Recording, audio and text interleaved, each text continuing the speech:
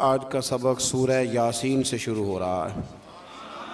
यासीन का तर्जुमा हरूफ मुक़ात हैं, लेकिन मुक़ात हरूफ के अलावा जिन बुज़ुर्गों ने किया है, उन्होंने ये किया है कि यासीन का माना है, रब फरमाता है, ए मेरे सैयद, ए मेरे सरदार।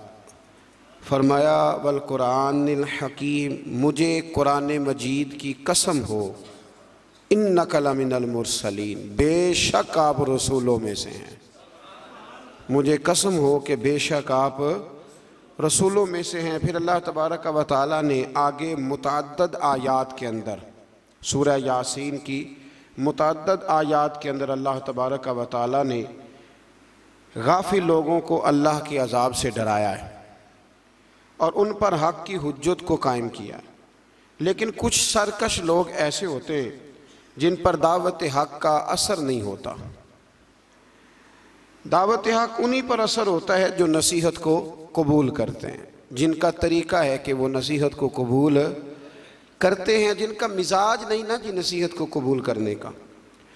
तो उन लोगों पर हक की दावत का कोई असर नहीं होता। फिर आयत नंबर अठतीस से अल्लाह तबारक व ताली की कुदरत और जलालत का बयान किया गया कि सूरज, चाँद और सियारे तमाम कादर मुतलक के नज़म के ताबे हैं। और ये मुमकिन नहीं कि इनमें से कोई फसाद या टकराव हो जाए। फिर आज नंबर अड़तालीस में फरमाया कि कुफार कहते हैं, वो वादा कब आएगा कि तुम सच्चे हो? इसके बाद फिर अल्लाह ताला ने वकूब क़यामत का ज़िक्र फरमाया है और बेसत बादल मौत को मुख्तलिफ़ पैरायों के अंदर बयान फरमाया है। आयत नंबर चौवन से इर्शाद फरमाया कि बग़ैर किसी जुल्म के आमाल का बदला देने और जन्नती लोगों के लिए नेमतों का ज़िक्र है और मुजरमों को अलग करने। और जहन्नम के आज़ाब का भी अल्लाह ने इन्हीं आयात के अंदर तस्करा फरमाया है। आज नंबर पैंसठ में अल्लाह तबारक व ताली ने बताया है कि क़यामत के दिन मुजरिमों के मुँहों पर मोहरें लगा दी जाएँगी।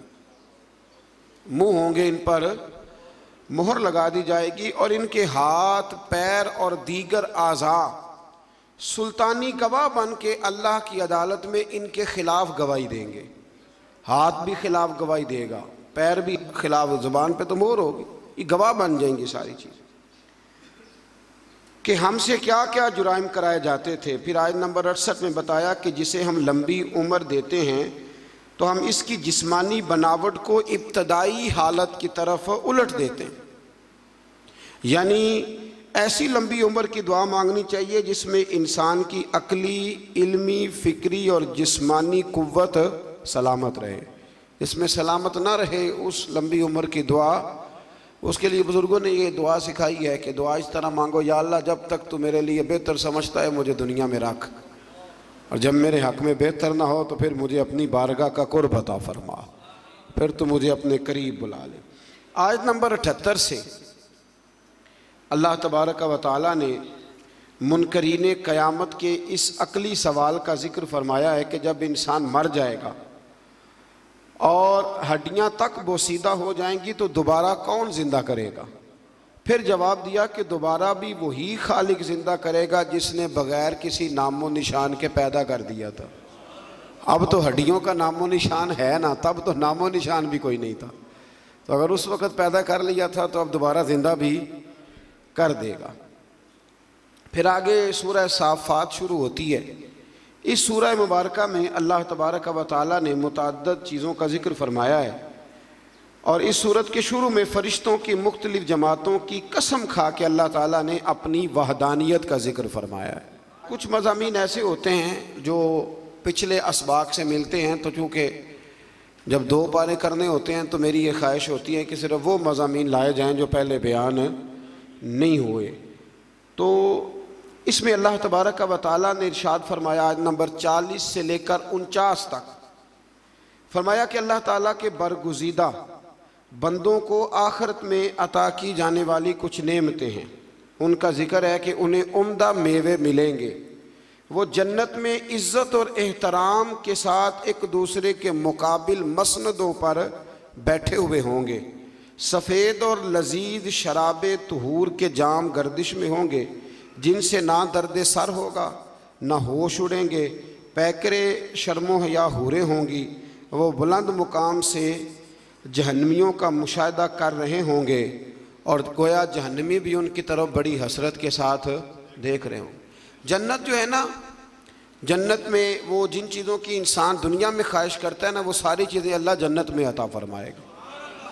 तो फरमाया कि यहाँ तुम्हारे अंदर ख्वाहिशात रखी हैं तो यहाँ वक्त भी थोड़ा रखा है। वक्त भी? देखिए ना, अक्लमंद आदमी है ना, उसको अगर कहा जाए कि ये पाँच दिन के लिए बंदोबस्त है, मौज बड़ी है। लेकिन अगर तू ये छोड़ के पाँच दिन सब्र कर ले तो फिर आगे तेरे लिए सारी ज़िंदगी का सब्र है, सारी ज़िंदगी की मौज है। तो अक्लमंद कौन है?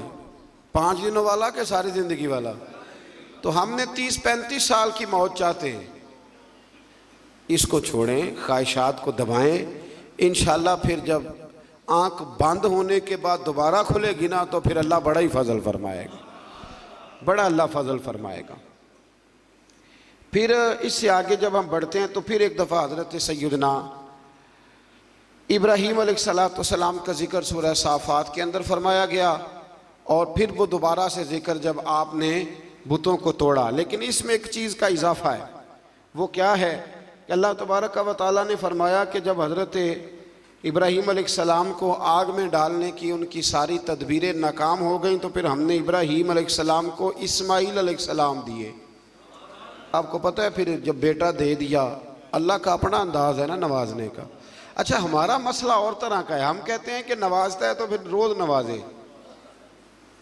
नवाजता है तो फिर अल्लाह आपको कहता है, रोज़ाना जक़ात दो। अगर कह देता तो। ओ भाई साल वाले बड़ी मुश्किल से हिसाब करते हैं। और हर रोज तो रब हर रोज चीज़ों का हुक्म नहीं देता। तो अल्लाह तबारक का वाली तदरीजन चीज़ों का हुक्म देता है, तदरीजन। लेकिन जब वो देता है तो फिर कहते हैं, इसमें मद्दो जजर आएगा। कभी दुख, कभी सुख कभी सेहत, कभी बीमारी, कभी ऊपर, कभी नीचे। तो हम ना सिर्फ़ मीठे मीठे के कायल हैं। मीठे मीठे कड़वे का भी कायल होना चाहिए। इसलिए कि महबूब की तरफ़ से जो भी अता हो जाए, वो उसका करम ही है। अल्लाह ने पहले हज़रत इस्माइल दिए, और जब बेटे से पूरा दिल लग गया तो फरमाया, अब इसे छोड़ के आओ वादिए गैर जीज़र में जहाँ आज बैतुल्ला शरीफ है ना, वहाँ कुछ भी नहीं होता था। हज़रत जनाब इस्माइल को और उनकी वालदा को छोड़ आए, दो किलो खजूरें और एक मिशकीदा पानी का। और क्या अल्लाह, मैं इन्हें तेरे हवाले करके जाता हूँ। फिर पाबंदी लग गई तो कई साल गए नहीं। मुफसरीन ने ब इख्तलाफ रिवायात, नौ साल या तेरह साल के हज़रत इसमाइल हुए तो गए। और जब गए तो जाते ही कहने लगे, वो वो यहाँ ज़िक्र है। फरमाया कि, बेटा, मैंने ख्वाब देखी है, मैं तुम्हें ज़िबा कर रहा हूँ। फलम्मा बालागा माँ या जब बेटा साथ चलने के काबिल हो गया ना तो कहने लगे, बेटे, मैंने ख्वाब देखी है, अन्नी बाहू का। मैं तुम्हें ज़िबा कर रहा हूँ। फन जुर्माजा तरा तो अपना इरादा बता। मैंने सूरज यूसुफ में भी अर्ज़ किया था कि सारी ज़िंदगी लोग माँ, बेटे की मोहब्बत का ज़िक्र करते आए, पर कुरान मजीद ने ना दो जगह बाप बेटे की मोहब्बत भी बड़ी खोल के बयान की है। ये बाप बेटे का रिश्ता बयान किया जा रहा है। बेटे, अब तो बेटे सिपाही ना होते, अल्लाह ही खैर फरमाए। अब तो उनको जो सबक पढ़ाया जाता है ना, वो अच्छी तरह याद करते हैं। और याद करके सवेरे माँ बाप को सुनाते हैं कि जनाब, आप भी तो थोड़ा ख्याल करें ना, अब आप भी तो ज़रा समझे ना, अब मेरे अपने भी तो बच्चे हैं ना। और देखो, बाप का जो रंग कुरान ने बयान, अन्नी असबहू का। पुत्र मैंने ख्वाब देखी है, मैं तुझे जिबा कर रहा हूँ, इरादा बता। तो हज़रत इस्माइल ने ये नहीं कहा कि चलो अब्बा जी जिबा कर दो, कहने लगे, या अबतिफ अलमा तू उमर। का अब्बा जी, आप जिबा ना करें। आपने ख्वाब देखी है, जिबा कर रहे हैं तो फकत जिबा ही ना करें, जो रब कहता है ना, वो सारा आप मेरे साथ करें। जो हुक्म होता है वो, जो अल्लाह कहता है, वो सारा करे। इसकी तफसीर में मुफसरीन ने लिखा है कि गोया हज़रत इस्माइल कह रहे थे कि, अब्बा जी, अगर अल्लाह कहता है ना, जिबा करो तो आप जिबा करें। और अगर वो कहता है ना, उसके बाद मेरे टुकड़े टुकड़े करें तो आप टुकड़े टुकड़े करें। और अगर वो कहता है ना, फिर इसे जला दें तो आप जो रब कहता है ना, आप वो सारा मेरे साथ सताजुदनी इन साबरीन। मुझे आप इन सबर करने वालों में से ही पाएँगे। तो फिर अल्लाह करीम ने फरमा इब्राहिम, तूने ख्वाब सच्चा करके दिखाया है। हज़रत इब्राहिम ने तो पट्टी बाँध ली थी आँखों पे। बेटे के हाथ बाँध लिए थे। उन्होंने तो छुरी चला दी थी। अब जिसने अमर करना था, उसी ने ना किया। वफदई ना हो बेजिब अजीम। और एक ज़िब अजीम का फिदिया अल्लाह ने दे दिया। तो इकबाल कहने लगे, ये फैज़ान नज़र था, यहाँ के मकतब की करामत थी। दो चीज़ें होती हैं। एक फैज़ान नज़र भी होता है। कई दफ़ा मकतब के निकम्मे फैज़ान नज़र से चल जाते हैं। ये तो इकबाल कह रहे हैं ना, ये फैज़ान नज़र था, यहाँ के मकतब की करामत थी। ये सिखाए किसने इस्माइल को आदाब फर्जंदी? यहाँ एक बात मैं माओ बहनों से, बच्चियों से करूँगा और आप हजरात से भी करूँगा कि ये घर में अपनी बेटियों और बहनों को ये सबक दें कि बच्चे बाप के उस वक़्त फर्मा बरदार बनते हैं जब उनकी अम्मा उन्हें बाप का फर्मा बरदार बनाती है। हज़रत इस्माइल की अम्मा कह सकती थी कि बेटे, तेरा अब्बा तो कभी आया ही नहीं, जंगल में छोड़ के चला गया। ये कह सकती थी। और क्या कुछ जेन में बच्चे के बैठ सकता था, पर हज़रत हाजरा ने कहा, पुत्र, तेरा बाप छोड़ के गया है ना तो वैसे नहीं छोड़ के गया, तेरा बाप अल्लाह का रसूल है। अल्लाह का पैगंबर है। और मैं बाप से भी कहूँगा कि माँ का अदब करा सकता है तो अब्बा करा सकता है। अब्बा कराए अदब, उनको कहे कि बेटा मैं तो बाहर रहता था, तुम्हारी सारी परेशानियाँ तुम्हारी माँ ने देखी। यहाँ ये होता है कि माँ बाप अपने हक में दलाए देते देते वो दोनों ही छुट्टी कर जाते हैं। कहते हैं चलो ठीक है, आप दोनों राज़ी रहें। अपने अपने हक में दलाए न दें, ये वैसे भी कमज़ोर लोगों का तरीका है। अल्लाह हमें समझने की तोफ़ी अता फरमाए। फिर अल्लाह तबारक वाली ने इसके बाद फिर से एक दफ़ा अपने अम्बिया का हज़रत इसाक मूसा, हारून, इलियास, लूत और यूनस सलाम ज़िक्र फरमाया इसी आयत में। आगे फिर सूरत साद शुरू होती है। इस सूरह मुबारक की इब्तदा में कुरान करीम की कसम खा के फरमाया कि काफिर तकबर और मुखालफत में पड़े हुए हैं। इसके बाद फरमाया, सरकार दो आलम सल्ला वसल्लम की रिसालत और नबी करीम के इंतखब पर और बेशुमार मबूदों की बजाय इलाह वाहिदा की इबादत पर कुफार का बड़ा ताजुब है। ये सारा कुछ कैसे हो गया? सारे बुत छोड़ने पड़ेंगे और नबी पाक को मानना पड़ेगा। तो गोया रब फरमाता, जितना मर्ज़ी ताजुब करो, मानना तो तुम्हें पड़ेगा। इसलिए कि ये मेरे हबीब हैं। ये तुम्हें मानना तो पड़ेगा। फिर आयत नंबर दस से, उन मुशरकिन को जिन्हें अपनी ताकत पर नाज था और खुदाई का दावा करते थे। फरमाया कि अगर आसमानों और ज़मीन और इनके दरमियान हर चीज़ की बादशाहत इनकी है तो फिर इन्हें चाहिए कि आसमान की तरफ़ चढ़ जाएँ। और ज़ाहिर है कि ऐसा उनके लिए मुमकिन नहीं है तो फिर अपने इज्ज का एतराफ़ कर लें कि हम ये कर सकते नहीं। फिर इसी सूरत के अंदर अल्लाह ताला ने फिर से एक दफ़ा कौम नूह का ज़िक्र किया। कौम आद का, फ़िरौन का, समूद का और कौम लूद का अल्लाह करीम ने यहाँ ज़िक्र फरमाया। फिर आगे चल के ना अल्लाह करीम ने इरशाद फरमाया कि हज़रत सुलेमान सलाम जो थे, वो अल्लाह के बहुत ही अच्छे बंदे थे और अल्लाह की तरफ़ रजू करने वाले थे। अच्छा ये जो अल्लाह कुरान में तारीफ़ करता है किसी की हालाँकि बंदे अल्लाह की तारीफ़ करने के पाबंद हैं कि वो हर वक्त अपने रब की। तो ये जो अल्लाह तारीफ़ करता है ना अपने बंदों की, ये उसका कमाल करम है। तो अल्लाह बंदों की तारीफ़ करके, नबियों की तारीफ़ करके, वलियों की तारीफ़ करके हमें बताता है कि तुम बिना बंदों पे तनकीद ना किया करो, मेरे बंदों की तारीफ़ें किया करो। तारीफ़ें किया करो। अल्लाह के नेक बंदों की पैगम्बरों की, वलियों की, दरवेशों की तारीफ़। करनी चाहिए। नेक लोगों की बात अल्लाह ताला तौफीक अता फरमाए। फिर इससे आगे जब हम बढ़ते हैं तो अल्लाह ताला ने फिर एक दफ़ा हज़रत अयूब सलाम और उन पर आने वाले मसाइब का ज़िक्र फरमाया है। फिर अल्लाह तबारक व ताली ने जाके ना आयत नंबर उनचास में अहल तकवा के लिए जन्नत की नेमतों का ज़िक्र फरमाया। और जहन्नमियों के लिए अजाब की मुख्तलिफ़ सूरतों का भी ज़िक्र फरमाया कि उनको पीने के लिए खोलता हुआ पानी और जहन्नमियों के ज़ख्मों की पीप दी जाएगी। जब कहले जन्नत को तरह तरह के फल और शराब तहूर मिलेगा। हमारे ना उस्ताद गिरामी फरमाते हैं कि मैं एक दफ़ा ना एक जगह पे किसी प्रोग्राम में मौजूद था तो वहाँ एक साहब ना तकरीर करते करते कहने लगे, जी एम मौलवी कहते हैं, बिला वजह, जी, ऐसे कह देते हैं, कब्र में कीड़े आएँगे तो फलाना आएगा। और ये बंदे जब तकरीर कर रहे होते हैं ना, वो जिनका दावा होता है बाजों का दरवेशी का तो वो कोई हादशाद का ख्याल कोई नहीं करते। अब आपने ये आयत मुलाजा की ना कि अल्लाह फरमाता है कि जन्मियों के जख्मों का पीप पिलाया जाएगा। ये कुरान मजीद की नस है ना, कि दोजखियों को अजाब होगा।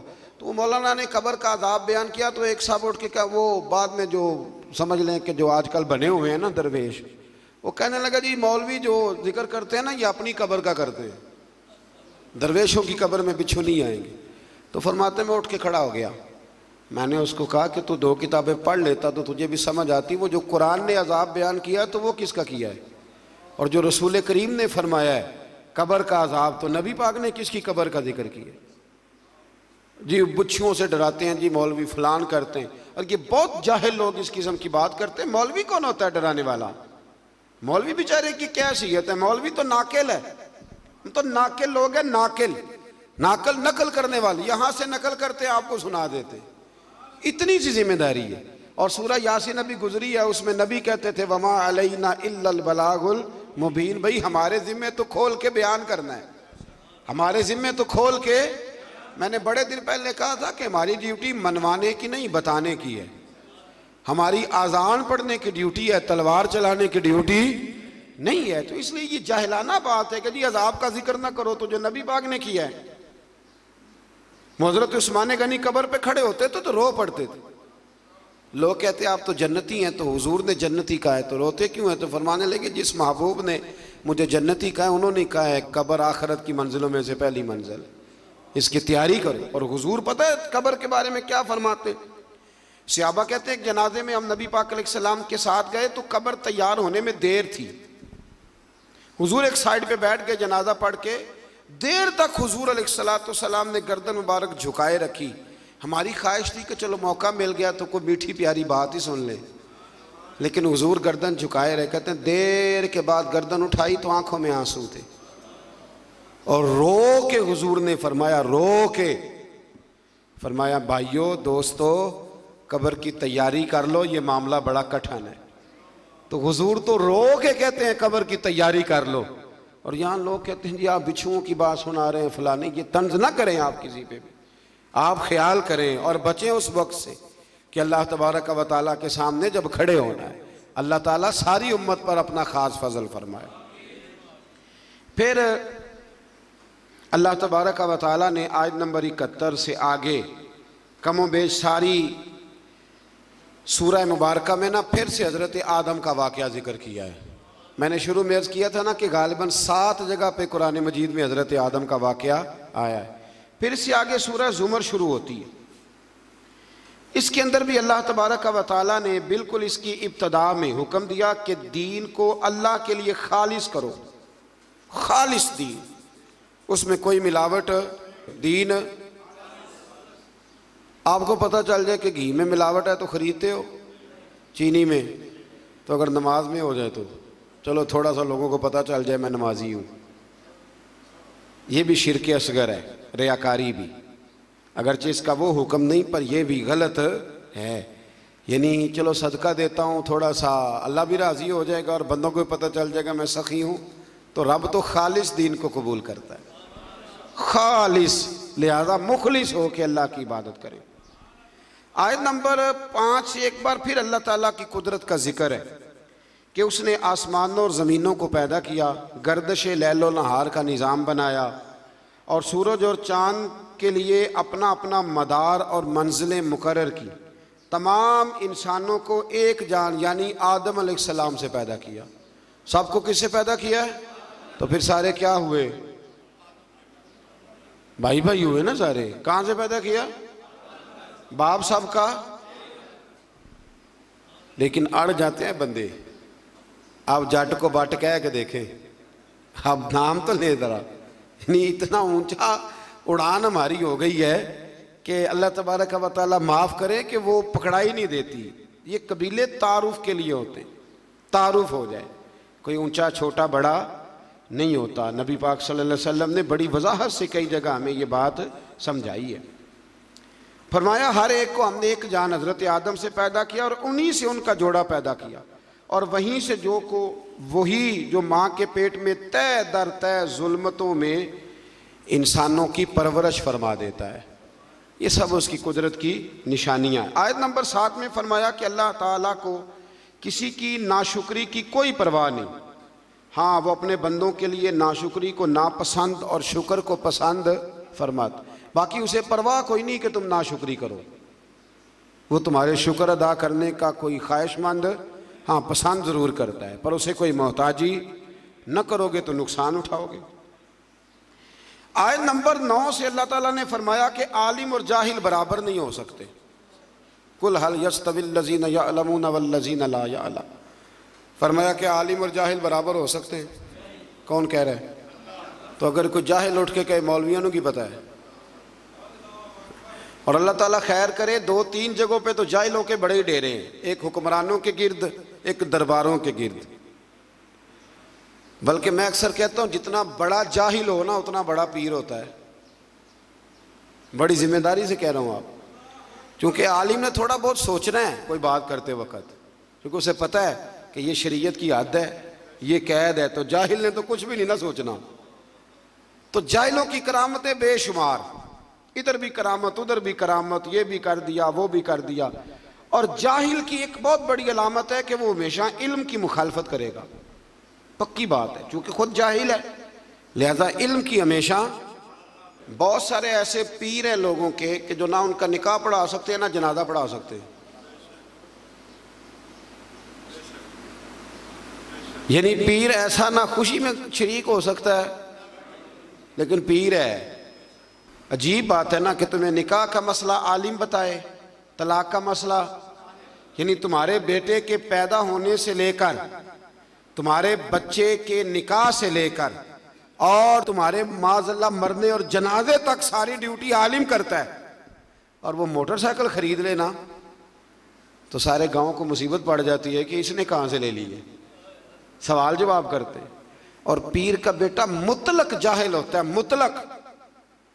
बहुत सारे ऐसे पीर हैं जो दुआ नहीं मांग सकते स्पीकर के आगे। लेकिन क्या किया जाए कौम का? कैसे समझाया जाए? कौन सा ऐसा दरूद पढ़ा जाए? तवीज़ लिखते जा रहे हैं, तवीज़ लिखते जा रहे हैं। और वो भी नहीं लिखने आते हैं, फ़ोटो कापियाँ करा लिए। मोरें बनवा ली। कुछ खुदा का खौफ करें, कुछ थोड़ा सा ख्याल करें। पीर के लिए पहली शर्त यह है कि उसे खुद तो रस्ते का पता हो कहाँ जाना है। जिस ड्राइवर को खुद नहीं पता, वो आपको लाहौर कैसे पहुंचाएगा। तो उसको खुद तो पता हो बां जिल्मो जो करे फकीरी। वो काफिर मरे दीवाना हो। मेहरबानी करें आप। जुबे कुबे देखती है कौम बड़े बड़े जनाब रंग डंग देखती है तो उलझ जाती है। तो अल्लाह तबारक वाली ने फरमाया, आलिम और जाहिल बराबर हो सकते, अल्लाह ने कहा है। इसलिए हमारी ड्यूटी है माँ को इज़्ज़त दे। ये हमारी ड्यूटी है। मैं कई दफ़ा माँ की शान में हदीसें इसलिए नहीं बयान करता कि वो लोग हम पे फिट ना कर ले और अंदर नफ्स बैठा है।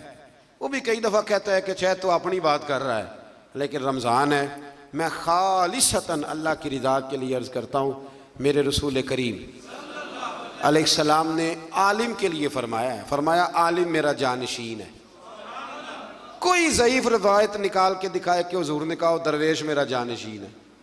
ठीक है, जो आलिम बेअमल है, मैं उनकी बात नहीं कर रहा। लेकिन हजूर ने फरमाया अम्बिया के वारस हैं। और साहिब तफसीर रूहुल बयान ने हदीस लिखी है। हजूर ने फरमाया, जिसने आलिम से हाथ मिलाया, समझे मेरे साथ मिलाया है। जिसने सच्चे आलिम की संगत की, समझे मेरी संगत की। और क्या खूबसूरत लफ्ज हैं हदीस के। हजूर फरमाने लगे, जिसने आलिम का चेहरा देखा, समझे अपने नबी का दीदार किया है। आप छोटी बात समझते हैं इसको? इसलिए वक्त निकाल कर, मैं अपनी ज़ाती ज़िंदगी में वक्त निकाल के जाता हूँ से मिलने। पता चल जाए, मुस्तनद और बामल आलिम आया तो मैं कभी पीछे नहीं रहता। मैं आगे बढ़ के जाता हूँ, मुलाकात करने की कोशिश करता हूँ, और ये हदीसें मेरे जहन में होती हैं हमेशा। कोशिश फरमाया करें। अल्लाह तबारक का वाली समझने की तोफ़ी अता फरमाए। फिर अल्लाह तबारक का वाली ने आयत नंबर दस में मोमिन को तकवे पर कारबंद रहने और रुकावट की सूरत में अल्लाह की ज़मीन के वसी होने और मसाइब अलाम पर सब्र करने वाले के लिए बेहिसाब अजर सवाब का ज़िक्र किया है। फरमाया, अगर तकवे के रस्ते में तुम्हारा मुल्क रुकावट बने तो ज़मीन बड़ी वसी है, कहीं और चले जाओ। लेकिन इख्तियार तकवा ही करना है। फिर आयत नंबर पंद्रह से गैरुल्लाह की इबादत करने वालों के लिए अजाब शदीद और बुतों की इबादत से इजतनाब करने वालों और अल्लाह की तरफ़ रुजू करने वालों और अच्छी बात सुनकर पैरवी करने वालों को बिशारत देते और हिदायत देने का भी मेरे रब ने ज़िक्र फरमाया। आयत नंबर बाईस में फरमाया कि जिसके सीने को इस्लाम के लिए अल्लाह खोल देता है तो वो अपने रब की तरफ़ से नूर हिदायत पे कायम रहता है। कोई अल्लाह खुशखबरी दे रहा है कि अगर मैंने तुम्हें कलमे की तो फीक दिया तो समझो मैंने हिदायत का रास्ता तुम पे वाज फरमा दिया। फिर आयत नंबर तेईस में कुरान मजीद की असर आफरीनी को बयान किया गया। ये मिलते जुलते मजामी पर मुश्तमिल बेहतरीन कलाम है, जिसे बार बार दोहराया जाता है। जिनके दिलों में खशियत इलाही है, इसे सुनकर इनके बदन के रोंगटे खड़े हो जाते और इनके जिसम और दिल अल्लाह की याद के लिए नरम हो जाते। फरमाया, ये मिलते जुलते मजामी है, जिनको बार बार दोहराया जाता है। कुरान में कौन से मजामी है? और बार बार ये शिकवा भी छोड़ दें कि हमारी मस्जिद का ख़तीब हर साल एक ही मजमून बयान करता है। अल्लाह कहता है, कुरान के मजामी को बार बार दोहराया जाता है। तो जंग बदर हर साल जब बयान होती है तो वही बयान होगी ना जो पहले से हदीसों में लिखी हुई है। एक कोई नया वाक़ दर्ज करके बयान हो। कौम को इस पर भी शिकवा होता है। कहते, पिछले साल भी सुनाया था। मैं एक जगह पे गया तो मुझे कुछ लोग कहने लगे जी, आप तकरीर छोटी करते हैं तो आप ना आज हमने लंबी तकरीर सुनी है। पिछले साल भी आपने 40 मिनट तकरीर की थी। मैं क्या तुम पिछले साल वाली सुनाओ तो नवी सुन लो। ठीक हो गया ना जी। मैंने कहा, पिछली सुनाएँ और नहीं सुन लें। और कभी कभी बड़े सिखाने वाले लोग भी मिलते हैं। एक जगह पर तकरीर ख़त्म करने लगा तो एक बुज़ुर्ग हैं, वो बड़ा मुझसे प्यार करते, मोहब्बत करते हैं। बड़ी उन, उनकी दिलचस्पी है। तो मैंने तकरीर ख़त्म करते हुए कहा कि, बस जी। तो बाबा जी कहने लगे, नहीं, थोड़ी सी और। मैं क्या जिस मैं कमा ख़त्म हो गई है। कहते जो ख़त्म हो गई तो मुडो लग पवो। ये ही सुना दियो दोबारा। अब ये तो ये सिखाने वाली बात है ना जी, कि बुज़ुर्ग बहुत सारे हाजिर दवाग होते हैं। कहने लगे, आप शुरू से लग जाएँ जहाँ से शुरू किया था। और हमें ना ज़्यादा सुना है। अल्लाह करीम तोफ़ी अता फरमाए। फिर आयत नंबर साठ में अल्लाह पर झूठ बांधने वालों के चेहरों के स्याह होने का ज़िक्र फरमाया। जो अल्लाह पे झूठ बांधेगा, उसका चेहरा कभी कभी ना हम भी कह देते हैं कि अल्लाह कुरान में ये भी तो कहता है ना जी। तो आपको पता है, ये आयत है कुरान की। है सही आयत। इस तरह उस दिन बात नहीं हो रही थी सूरत यूसुफ में कि जी वो भेड़िए ने हज़रत याकूब से क्या कहा था? मैं क्या मैनू तो नहीं पता उन्हें किया क्या कहते उन्हें आख्या जो मैं यूसुफ खादा हो तो मैं चौदहवीं सजी का मौलवी होवा। पता नहीं किड़ी किताब आया लेकिन बात मशहूर बड़ी है। है कि नहीं? कुछ मसले ऐसे हैं जिनका कोई वजूद नहीं तो कहते हैं जी, जिन्हें उमरा कर लिया तो अज फ़र्ज़ हो गया। मैं क्यों उसको खान रोटी ना हो तो अज कि फ़र्ज़ हो गया? लेकिन जो मसले बिल्कुल किसी कोई वजूद नहीं, वो बड़े मशहूर है और बड़े ज़बरदस्त मारूफ है। तो ये किसी जगह रवायत नहीं। माँ की तोहन के लिए लोग बातें गाड़ लेते हैं, लेकिन कहीं भी मौजूद नहीं है। आयत नंबर बासठ में फरमाया कि अल्लाह ताला हर चीज़ का खालिक और निगेबान है और ज़मीन व आसमान की कुंजियों का मालिक भी अल्लाह ही है। चले, बात आ गई तो एक मसला इस तरह का और भी है। वो रमज़ान में ज़्यादा बयान होता है कि कीड़ी नज़र ना आए तो खाते रहना चाहिए। चूंटी नज़र ना आए तो मैनू महीना महीना नहीं जी दिसती और आप में से बहुत सारे ऐसे लोग हों जिन्होंने सारे रोज़े देखे ही नहीं। क्या करें फिर? और बहुत ज़्यादा तेज़ रोशनी हो लाइटों की तो वैसे ही नज़र कोई नहीं आती। ये सवाल किसी ने पूछा था तो चलो उसका जवाब भी आ गया। कहने लगे कि रोज़े के टाइम अजान तक खाना पीना चाहिए या अलान हो जाए तो बंद कर देना चाहिए? ये जो अजान होती है, ये रोज़ा बंद करने के लिए नहीं होती। अजान नमाज़ के लिए होती है। वो सारा साल होती है। अजान किस लिए होती है? और किसी वक्त मौलवी साहब की आँख दस मिनट लेट भी खुलती है। तो लेट भी होती है अजान। अजान का रोज़े से कोई ताल्लुक? रोज़े का टाइम से ताल्लुक है। जब ऐलान हो जाए ना, बंद कर दो तो लिहाजा रोज़ा वहीं पे बंद करना है। वो अल्लाह ताला माफ़ करे। मैंने एक शख्स को मस्जिद में एक दिन मसला बताया तो वो कहने लगा, जी, मेरे तो अब्बा जी कहते ने, बड़िया बांगा होनिया ने अजे। तू खाना रहो। मुझे नहीं पता, मुझे पहली दफ़ा उस दिन पता चला। वो कहने लगे मैनू अब्बा जी आख्या वो बड़िया ने कहते अजे पहली हुई है तू एंड वाली तक खा ओ खुदा के बंदो रोज़े का अल्लाह ने हद बनना मुकर फरमाया है तो आप हद में रहेंगे बेहद अब तो कैलेंडर हैं और आप टीवी पे यूँ पट्टियाँ चल रही हैं ये टाइम है जो अखबार छाप के आ जाएगा उस पर कल का टाइम लिखा होगा किस चक्कर में आप और बहुत सारे टाउन ऐसे हैं सोसाइटियाँ ऐसे जिनमें अदान की आवाज़ ही नहीं जाती घरों में तीन तीन, चार चार पोर्श तो वहाँ आप क्या करेंगे? तो अजान का नमाज़ से ताल्लुक़ है, रोज़े से ताल्लुक़ नहीं है। तो कई दफ़ा अजान देर से दी जाती है। अजान देर से। अच्छा फिर बड़े मज़ेदार हैं लोग। मैंने अगला सपारा शुरू करना है, पर बात आ गई थी, मुकम्मल करना भी बड़ा ज़रूरी है। बड़े मज़ेदार हैं। रमज़ान में शहरी के लिए पूछते हैं कि जी, हमने नहीं ऐलान पे बंद करनी, हमने तो अजान पे तो रोज़े में ऐलान पहले होता है, अजान बाद में होती है। जब इफ्तार होता है तो फिर पहले ऐलान होता है, फिर वो इसलिए पहले ऐलान होता है कि चलो ऐलान करने वाला बेचारा भी खोल ले रोज़ा। तो रोज़ा खोल के पाँच, सात मिनट के बाद अजान देता है ना। उत्थे नहीं, बंदे मसला पूछते। तो ये ऐलान तो नहीं असा तो भाई बांगते ही खोलना है। पूछा कभी किसी ने? तो ये क्यों ऐसे काम कर? जिनका वजूद कोई नहीं। वहाँ कोई और बात और यहाँ कोई है ना अजीब बात? यानी जक़ात देनी होती है ना जब? तो जक़ात का निसाब साढ़े बावन तोले चांदी भी है। उस वक्त कहेंगे जी वो साढ़े सात तोले सोने के बराबर पैसे होंगे, फिर देनी है। ऐसे ही है। सवा दो शेर गंदम मैंने देनी है जी। फतराना तो मैं कहता हूँ तू साढ़े तीन किलो खजूरें फतराना देना और देना भी अजवा की कीमत। वो क्यों नहीं देता? हदीस में तो वो भी आया है। हालाँकि अरब के बाद इलाके ऐसे थे जहाँ खजूरें सस्ती थी, गंदम महँगी थी। इसलिए उनका वज़न ज़्यादा रखा गया खजूरों का, गंदम का थोड़ा रखा गया। अब किस हिसाब से देते हैं? आज सवेरे एक बंदे ने मसला पूछा, कहता जी, बच्चे बाहर हैं तो उन्होंने फतराना उतों के हिसाब ना देना कि इतों के हिसाब ना मैं क्या बड़ा लाख रुपया फतराना है, जिसका हिसाब करते फिरते हो। ओ खुदा के बंदे, दे दे जो देना है। और फतराना हैसीयत के मुताबिक दें। कुछ बंदे ऐसे हैं जिनका पाँच हज़ार बनता है एक बंदे का। मैंने कहा, हैसीयत के मुताबिक दे। जो गरीब आदमी है, वो दे दो सौ रुपया, ठीक है, अर्ज़ नहीं। साल के बाद देना है ना, अल्लाह के कहने पर। तो आप मेहरबानी करें, अल्लाह तोफ़ीक अता फरमाए समझने इस पारे के शुरू में अल्लाह पर झूठ बांधने और हक को झुटलाने वालों को जहन्नमी करार दिया गया जो हक को झुटलाते।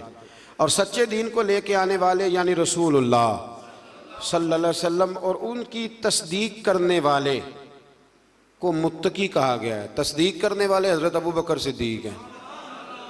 हुजूर सच लेके आए और जनाब सिद्दीक अकबर ने उसकी तस्दीक की। ये कम बेश तमाम मुफसरीन ने हज़रत सिद्दीक अकबर का नाम ही लिखा है।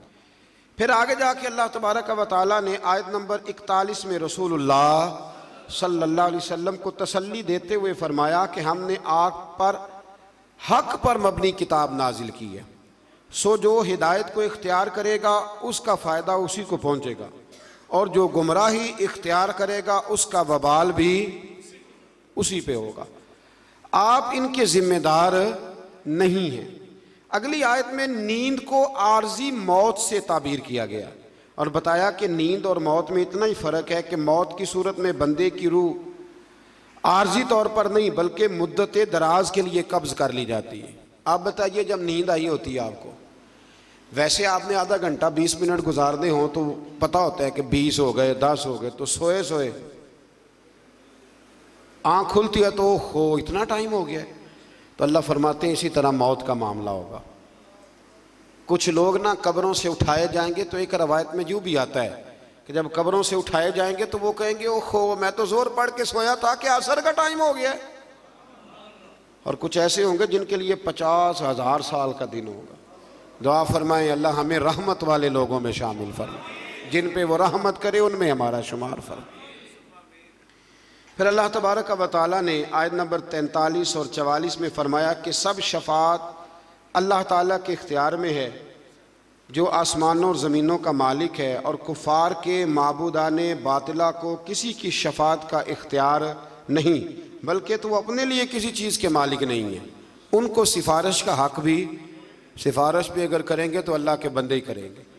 हुजूर ने फरमाया, सबसे पहले अम्बिया करेंगे, फिर उलमा करेंगे, फिर शहीद करेंगे, फिर नौक लोग अल्लाह की बारगाह में सिफारिश करेंगे आयत नंबर सैंतालीस में बेपना दौलत जमा करने वालों को खबरदार किया गया है कि अगर वो ज़मीन की सारी दौलत के मालिक बन जाएँ और इसके बराबर भी इनको मिल जाए तो वो क़यामत के दिन ये सब कुछ देकर आज़ाब से अपनी गर्दन छुड़ाना चाहें तो भी उन्हें खुलासी नहीं होगी। जितना मर्ज़ी माल जमा कर लें।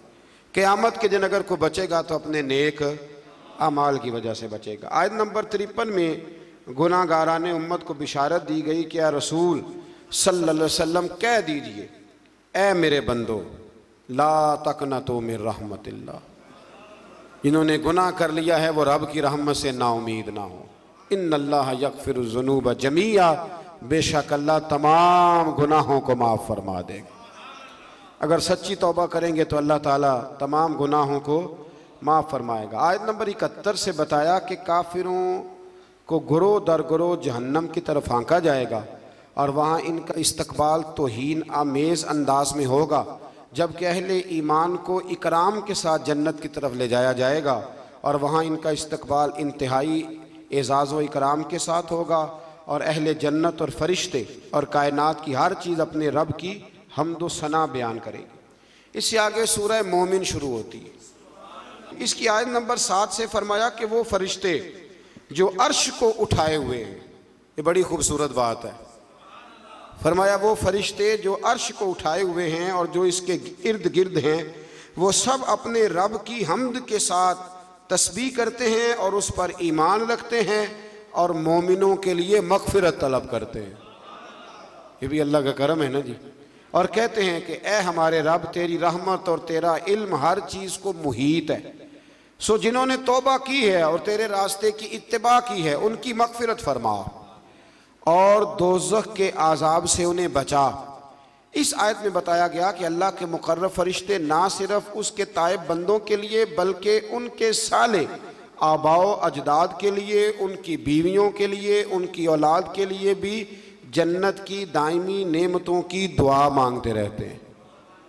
अगर कोई सच्ची तौबा करे तो फरिश्ते भी उसके लिए दुआ करनी शुरू कर देते फिर आयत नंबर दस में फरमाया कि कुफार को क़यामत के दिन बुलंद आवाज़ से कहा जाएगा कि तुम लोगों को अपने ऊपर जितना गुस्सा आ रहा है ना कि हमने बुरे काम क्यों किए, इससे ज़्यादा गुस्सा अल्लाह को तुम पर आता था। जब तुम लोगों को ईमान की दावत दी जाती तो तुम कुफर करते थे और अपने गुनाहों का इतराफ़ करके कहेंगे कि क्या जहन्नुम से निकलने की कोई सूरत है? फिर उस दिन पूछेंगे कि गलती तो हो गई, पर कोई सूरत है निकलने की? आज नंबर 16 में क़यामत के दहशतनाक दिन का नक्शा खींचा गया है। अल्लाह ताला फरमाएगा, आज किसकी बादशाही है? सब जानते हुए खामोश हो जाएँगे, फिर अल्लाह फरमाएगा कि अल्लाह की, जो वाहिद भी है और सब पर गालिब आने वाला भी फिर आयत नंबर सत्रह से बताया कि क़यामत के दिन सब के साथ पूरा पूरा इंसाफ होगा। वहाँ ालिमों का कोई हिमायती और सिफारशी ालिमों का ना कोई सिफारशी होगा, ना कोई हिमायती होगा, बल्कि मेरे नबी पाक अलैहिस्सलाम ने फरमाया, अगर मेरे किसी उम्मती ने ज़िम्मी काफिर पर जुल्म किया, ज़िम्मी काफिर वो होता है जो इस्लामी हुकूमत में, इस्लामी कवानीन की पाबंदी में जिजिया दे के रहता है। फरमाया, अगर मेरे किसी उम्मती ने किसी ज़िम्मी काफर पर जुल्म किया तो मैं क़यामत के दिन उस ज़िम्मी के साथ खड़ा होकर अपने उम्मती पे मुकदमा कराऊँगा। यानी जुल्म वाले की हुजूर भी क़यामत में सपोर्ट नहीं करेंगे। अल्लाह तोफ़ी अता फरमाए जुल्म से बचने की। अल्लाह ख़यानत करने वाली आँखों और सीनों में छुपे राजों को भी जानता है। फिर इससे आगे आयत नंबर उनचास में बताया कि जहन्नमी जहन्नम के दरोगों से कहेंगे कि अपने रब को बुलाओ कि हमारे साथ अजाब में सिर्फ़ एक दिन की तखफीफ कर दे। अल्लाह महफूज रखे। एक दिन की सिर्फ़ छुट्टी मिल जाए। जहन्नम का मुहाफ़ अमला इनसे कहेगा, क्या दुनिया में तुम्हारे पास रसूल निशानियाँ लेकर नहीं आए थे? वो इकरार करेंगे। आगे चल के फरमाया, क़यामत में ालमों की उज़र खाही इन्हें कोई काम ना आएगी। इनके लिए लानत है और बुरा घर है। आयत नंबर साठ में फरमाया कि, तेरे रब ने फरमाया है, मुझसे दुआ मांगो, मैं तुम्हारी दुआओं को कबूल फरमाऊँगा। आयत नंबर चौंसठ में फरमाया, अल्लाह ही ने ज़मीन को तुम्हारे लिए जाए करार और आसमान को छत बनाया है और तुम्हारी सूरतें बनाई हैं और वही तुम्हें पाकिज़ा रेज़ अता करता है। फिर आयत नंबर सड़सठ में अल्लाह ताला ने इंसान की तख्लीक और इसके बाद मौत तक मुख्तलिफ़ मराहल को अपनी निशानियों के तौर पर बयान फरमाया। आगे सूरह हामीम सजदा शुरू होती है। इसकी आयत नंबर पाँच में कुफार को इंतहाई सरकशी की कैफियत को बयान करते हुए फरमाया और उन्होंने कहा, जिस दिन की तरफ़ आप हमें बुला रहे हैं, हमारे दिलों में उस पर पर्दे पड़े हुए और हमारे कानों में डांट है और हमारे और आपके दरमियान हिजाब है, सो आप अपने काम से काम रखिए और हम अपने ढप पर कारबंद रहेंगे। यानी वो किसी भी तौर पर कबूर हक के लिए तैयार ना हुए कहने लगे, जी, हमें नहीं आपकी बातों की समझ आती। हमारी आँखों पे पड़ दें। याद रखना, इंसान को उस वक़्त तक अल्लाह अजाब किसी बस्ती को नहीं देता जब तक वहाँ रसूल ना भेज दे। और जब अल्लाह ताला रसूल भेज देता है तोफ़ी के हिदायत के लिए तो फिर अगर उसके बाद भी इंसान उन बातों पे अमल ना करे तो फिर उसका कोई उज़र काबिल कबूल नहीं है। आयत नंबर तीस से बताया कि ईमान पर साबित कदम रहने वाले अहले ईमान की रूहें जब दुनिया से परवाज करेंगी। इन नल्लजी नकाल रबन सुम मस्तकाम फरमाया, बेशक वो लोग जिन्होंने कहा कि अल्लाह हमारा रब है, फिर उस पर डट गए। उन पर हम फरिश्तों का नजूल करेंगे। बाद मुफसरीन ने लिखा है कि ये मौत के वक़्त फरिश्ते आएँगे, लेकिन हज़रत महमूद आलूसी उंदलसी इमाम सजूती और दीगर बहुत सारे मुफसरीन कहते हैं, मौत के वक़्त नहीं, मोमिन जब भी डट जाता है, अल्लाह फरिश्ते भेज देता है। मोमिन जब भी डट जाता है, अल्लाह फरिश्ते, ये ये लफज भी आपने समझना है। ये नहीं फरमाया कि फरिश्ते आएँगे तो तुमने डटना है, फरमाया डटना पहले तुमने खुद है, फिर अल्लाह फरिश्ते भेजेगा। हक पे डट जाओ, अल्लाह तुम्हारी मदद के लिए।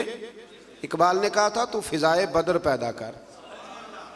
फरिश्ते तेरी नुसरत को उतर सकते हैं गर्दों से, कितार अंदर, कितार अब भी। वो उतर आएँगे, लेकिन शर्त यह है कि तू फिजाए तो उस तरह का ईमान पैदा कर। फरमाए, फरिश्ते नाजिल होंगे और कहेंगे कि तुम न किसी आने वाली बात का खौफ करो, न किसी गुजश्ता बात का रंज और मलाल, और इस जन्नत की बिशारत सुनो जिसका तुमसे वादा किया गया और फिर इन्हें बताया जाएगा कि अल्लाह गफूर रहीम ने इनके लिए जन्नत में ज़ियाफ़त का अहतमाम किया है। बड़ी खुशी वाली बात है। यानी रब फरमाता है, मैं जन्नत में तुम्हारा मेज़बान बनूँगा। मैं तुम्हारा मेज़बान हूँ जन्नत में। तो जितनी शान वाला मेज़बान है, मेज़बानी भी उतनी शान वाली फरमाए। और वहाँ जिस नेमत की भी ख्वाहिश करोगे, तुम्हें वो दस्तियाब हो जाएगी। आज नंबर चौंतीस में बताया, नेकी और बदी बराबर नहीं है। और दूसरों की बदी का जवाब नेकी से दो। अल्लाह फरमा रहा है, बदी का जवाब नेकी से दो इसके नतीजे में तुम्हारा मुखालिफ, तुम्हारा सरगर्म और पुरजोश दोस्त बन जाएगा। अगर तुम जवाब नेकी से दोगे ना, मेरे पास वक्त नहीं, वरना यहाँ कुछ हदीसें पढ़ता, जिनमें नबी पाक सलाम ने उन लोगों से नेकी की जो बज़ाहर जुल्म करने आए थे। हुजूर ने नेकी की तो वह मेरे रसूल के ग़ुलाम बन गए, वो नबी करीम के ग़ुलाम बन गए। आज नंबर उनतालीस से अल्लाह ताला ने हयात बाद मौत के सबूत के लिए हिस्सी मिसाल दी कि तुम देखते हो ज़मीन खुश्क, बंजर और गैर आबाद होती है, यानी बेजान होती है। तो हम इस पर बारिश का पानी नाजिल करते, जिसके ज़रिए वो सरसब्ज और शादाब हो जाती है। और नमू, यानी निबातात, उगाने और बढ़ाने की सलाहियत उसमें पैदा हो जाती है। तो जो ज़मीन के लिए हयात है फरमाया, पास जो अल्लाह बेजान ज़मीन में जान डाल देता है, वही आखरत में मुर्दों को भी ज़िंदा फरमा देगा। और कई दफ़ा ज़मीन में जान डलती है। एक दफ़ा बिल्कुल सही हो जाती है, फिर हल चलाएँ, फिर बीज डालें, फिर जान डाल जाती। इसी तरह मरने के बाद भी अल्लाह दोबारा इंसानों में जान पैदा करेगा। आयत नंबर बयालीस में कुरान की शान एजाज को बयान किया कि इसमें किसी भी जानब से बातिल की कोई आमेज़श नहीं हो सकती। ये सरासर हक है। कुरान सरासर हक है। मेरी ये ख्वाहिश है, ये ना सुन्नत है क़यामुल्लैल आखिरी दस रातों का। आप अपने अपने घरों में या अपनी अपनी मस्जिदों में कम अज़ कम ताक रातों में रात को कुछ देर के लिए जल्दी ज़रूर उठें। सारी रात हो सके तो बड़ा ही अच्छा है। हज़रत आयशा कहती है, नबी पाक सल्लल्लाहु अलैहि वसल्लम नफल के लिए पाबंद नहीं करते थे, पर रमज़ान की आखिरी दस रातों में कहते थे, उठो, ख़वातीन भी कोशिश करें। ये आखिरी दस दिन जो होते हैं ना, बड़े कीमती और बिलखसूस ताक राते। बता इसलिए रहा हूँ कि आप में से को नेकी करेगा तो मेरे लिए भी बख्शिश का गुजरिया बनेगा। ज़रूर कोशिश करें। कम अज़ कम एक घंटा अगर आप मतलब नहीं, सारी रात बेदार रह सकते तो एक घंटा आप रोज़े से ज़रा पहले उठ जाएँ। कुछ तिलावत, कुछ इबादत, कुछ दरूद पाक, यारो बड़ा ही ज़रूरी है। हजूर ने बड़ा ही पसंद किया है। और बड़ी कीमती, ये वो अजीम रातें हैं जिनके लिए खैमा लगा के मेरे नबी मस्जिद में ही बैठ गए। तो आप इनमें कोताही न करें। अल्लाह ताला तौफीक अता फरमा